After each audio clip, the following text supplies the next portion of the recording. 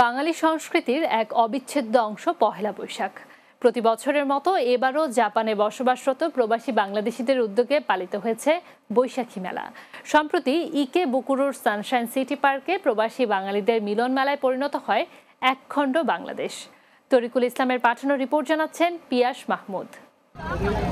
জাপানে গত ২০ বছর ধরে প্রবাসী বাংলাদেশিদের উদ্যোগে ধারাবাহিকভাবে বৈশাখী মেলা উদযাপিত করে আসছে। এবারও এর ব্যতিক্রম হয়নি। শুধু জাপানে বসবাসরত বাঙালিদের মিলন মেলাই নয়, এই মেলার জন্য অধীর আগ্রহে থাকে জাপানিরাও।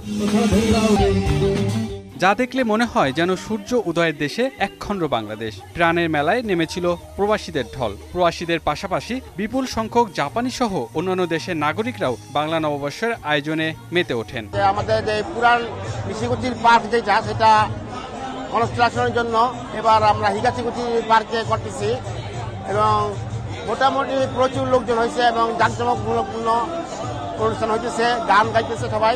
আমরা বাংলাদেশের মহিলারা নিজে কাজ করে বেতন পেয়ে।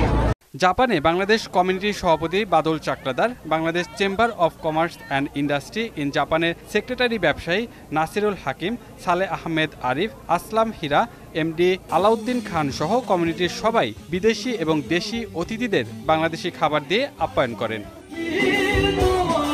পরে সন্ধ্যায় জাপান বাংলাদেশ সোসাইটির সভাপতি সকল আগত অতিথিদের ধন্যবাদ জানিয়ে অনুষ্ঠানের সমাপ্তি ঘোষণা করেন এবং একুশতম বৈশাখী মেলার জন্য আমন্ত্রণ জানান।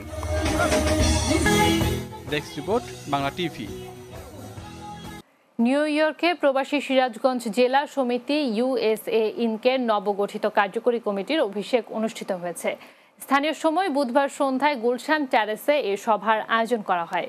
সংগঠনের সভাপতি সাইফুল ইসলাম শফির সভাপতিত্বের সভাটি পরিচালনা করেন সাধারণ সম্পাদক কামরুজ্জামান কামরুল। শুরুতে পবিত্র কোরআন থেকে তেলোয়াত ও জাতীয় সংগীত পরিবেশন করা হয়।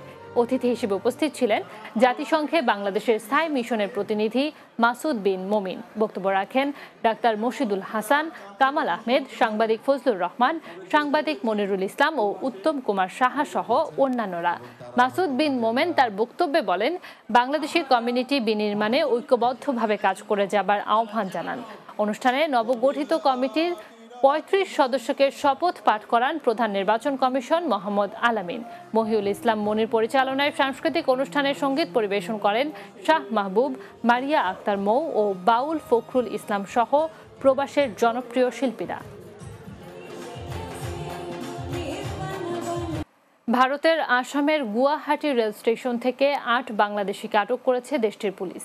বুধবার দেশটির বার্তা সংস্থা এএনআই এর প্রতিবেদনে এ তথ্য জানানো হয়। প্রতিবেদনে বলা হয়, গত বাইশ এপ্রিল ওই আট বাংলাদেশি তরুণকে আটক করে দেশটির পুলিশ। তারা বিশ তারিখ বাংলাদেশ থেকে পশ্চিম ত্রিপুরা দিয়ে ভারতে প্রবেশ করে।